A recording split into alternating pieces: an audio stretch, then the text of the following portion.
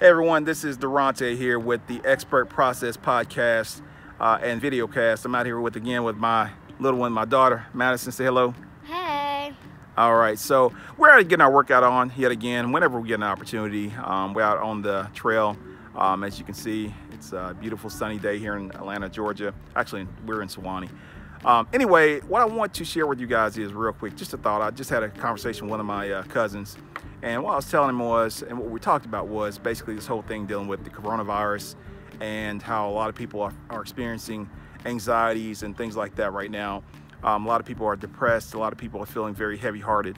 And what I wanted to uh, share with you guys is this understand twofold. Number one, yes, it is a time of crisis. Number two, yes, a lot of people are heavy hearted and it is um, difficult time we're experiencing. I, I agree with all those things. But there's also one other thing to think about this is a time uh, for humanity.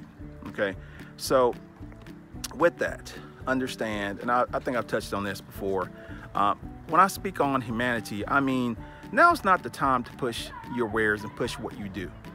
Now's the time to extend love, to extend um, courtesy, to extend, um, you know, share ideas, to share resources. If what you do is in the service industry, how about taking a moment to share something that can be a resource and something of value to your traditional audience, right? So one of the things I was, I was sharing with him was, you know, go online and find a resource that can benefit someone that's experiencing those those anxieties. Now he's in in the insurance industry, and I was telling him, you know, think about your typical customer. What what what are they likely to be feeling right now? Or where can you go and find an article that can uplift their spirits? Where can you go and find an article that can help them put whatever they're going through in, into perspective? Because this is not the first crisis that we've gone through, right? Um, there are other people out there that have, uh, you know, um, positive, uplifting, or motivational videos or motivational um, blogs and things like that. Maybe that's something that you want to share.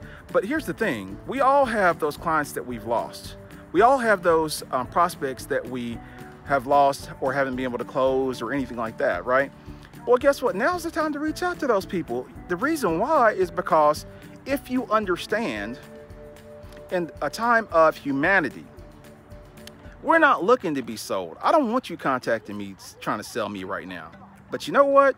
If you contact me and you express empathy for what I'm going through, when I emerge from this, if I am dealing with someone that doesn't understand that, guess what I'm likely to do?